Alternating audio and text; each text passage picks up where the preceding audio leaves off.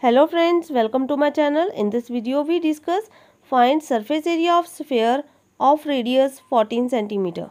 So in this question given thing is radius of sphere it is 14 centimeter and we find surface area of sphere. So radius of sphere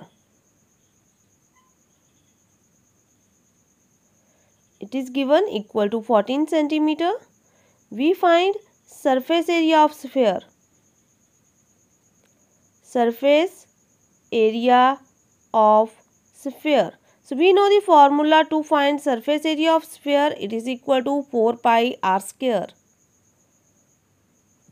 And it is equal to 4 pi its value is constant 22 over 7 r r is radius it is given 14 centimeter square 4 multiply 22 over 7 multiply 14 multiply by 14 into centimeter square. So 7 and 14 both are divisible on the table of 7. So we cancel them. 7 ones are 7, 7 twos are 14.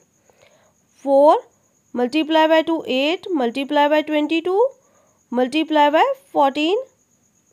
So 8 multiply by 22 we get answer 176 into 14.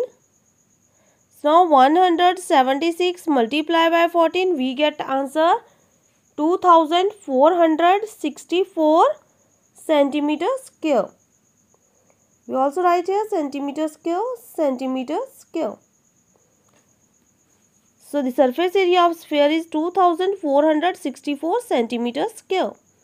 Thanks for watching. Like, comment and share my video. Subscribe my YouTube channel.